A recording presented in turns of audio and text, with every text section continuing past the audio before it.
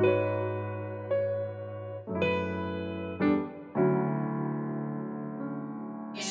I said, I've never worn makeup. I'm a lip gloss tattoo person. I've never ever done anything to my hair. Half the time I don't comb. It's a struggle. I hate combing my hair.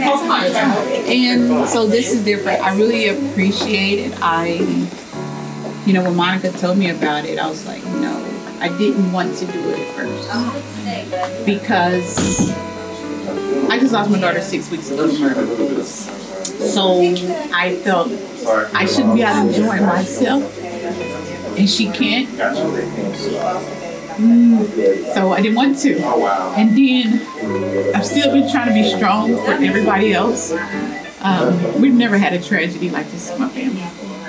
And so I gotta be strong for my mom, my sons. I got a four year old I gotta take care of now.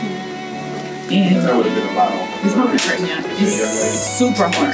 So I haven't even started grieving my child yet.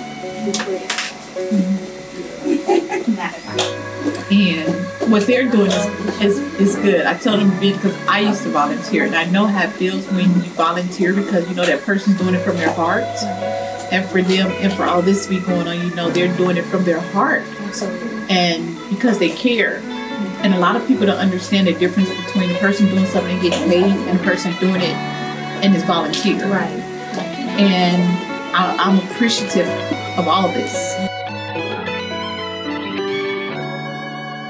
I was angry long because I have no control. I am the one who always looks out for everybody else. And now I don't know how to not. Just receive it. Just receive it. You deserve it. This is your day. This day is all about our mothers. And I'm trying not to uh, ruin her makeup. She worked so hard. That's the power of makeup. You can just just dab it on and you're all right. Voila. How are you feeling? Oh Lord.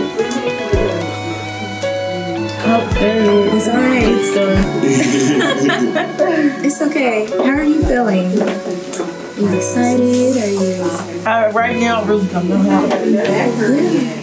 Because I've never had this done. I've always wanted this done. It's kind of special right now. yeah. know, when you let other things interfere, like love and stuff like that, or so you think it is. And we as women, we tend to come down on ourselves and we don't. That is the truth. We put the big mask on, not these little paper things. Oh, don't pack, baby.